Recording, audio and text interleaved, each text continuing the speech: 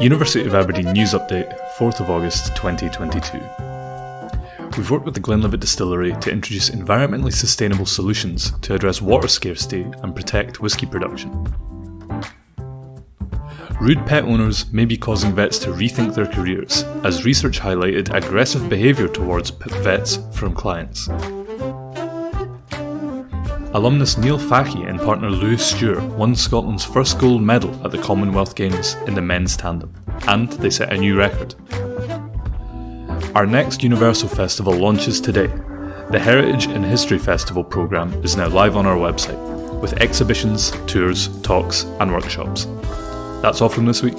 Until next.